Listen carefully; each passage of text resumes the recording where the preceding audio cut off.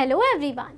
Welcome to ACE Engineering Academy, a leading engineering institute for GATE, ESE and PSU preparations.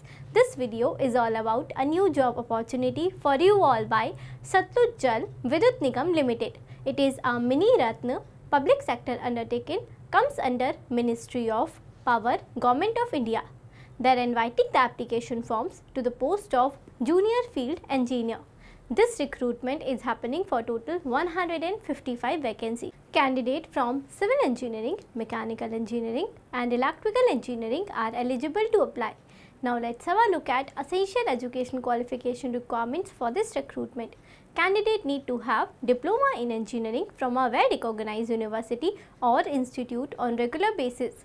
Candidate diploma should be in the concerned discipline in which they are going to apply. Now let's have a look at age limit requirements. Candidate age will be calculated as on 1st April 2023. Candidate minimum age should be 21 years and maximum age should not be more than 30 years. Age relaxations to reserve category will be provided as per the norms. Now we'll have a look at selection process. Candidate selection is based on written examination. Written exam is going to be a computer based test. In this, there will be total 100 multiple choice questions. 70 questions will be there from concerned discipline knowledge and 30 questions will be there from general aptitude.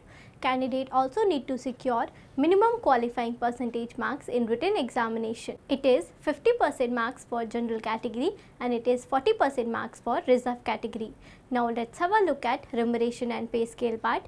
Candidate will be appointed as per per month salary of 45,000. Now we'll have a look at mode of application and the mode of application for this recruitment is online. Candidate need to visit official website and fill an online application form. Application window is open from 18 September 2023 till 9th October 2023. Candidate also need to pay non-refundable application fees of rupees 300 from unreserved category and there is no application fees from reserved category. That's all about important highlights given in this recruitment notification. If you want to view detailed advertisement, the link is available in the description box. If you like this video, do hit the like button and for regular update on latest job notifications and other informative videos like this, do not forget to subscribe our channel and press the bell icon. Thanks for watching. Keep learning, keep watching, keep smiling.